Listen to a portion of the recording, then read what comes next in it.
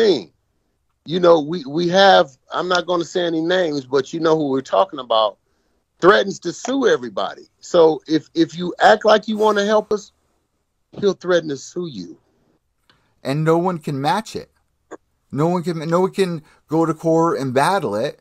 It's it's yeah, yeah. Here's what I say: sue me if you want to, bro. Because I talked to him and, and, and Dave McWaters sue me. I'm telling you right now, you're corrupt. You're a liar. You're a thief, and it's gonna stop. I'm gonna get you, bro. You're gonna get up out of boxing and go back to hustling pizzas or whatever you did in New York City with your restaurants because you're fucking up boxing. He screwed up Teofimo Lopez to where he lost a fight. You know, he should have never lost that fight.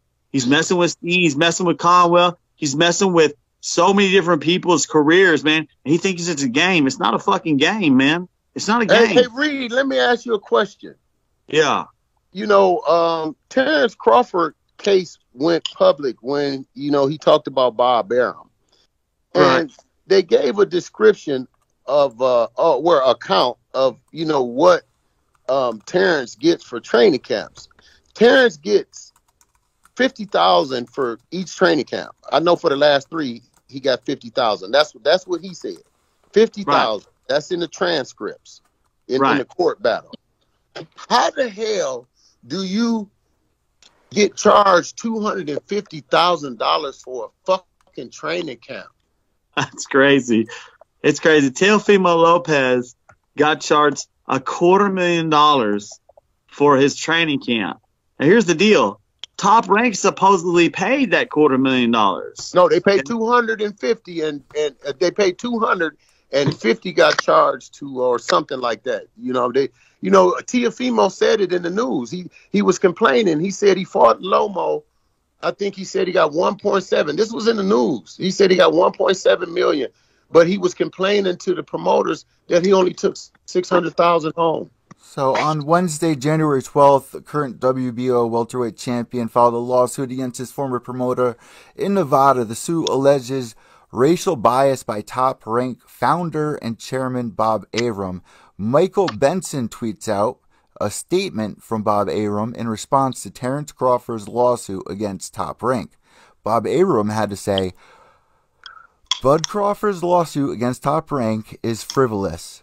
His vile accusations of racism are reckless and indefensible. He knows it, and his lawyer knows it. I have spent my entire working life as a champion of black boxers, Latino boxers, and other boxers of color. I have no doubt the court will see Crawford's case for the malicious extortion attempt that it is. Listen, man, everybody knows Bob Arum fixes fights. Okay. He's known for that. He's been raided by the FBI. He's had injunctions by the state gaming commissions.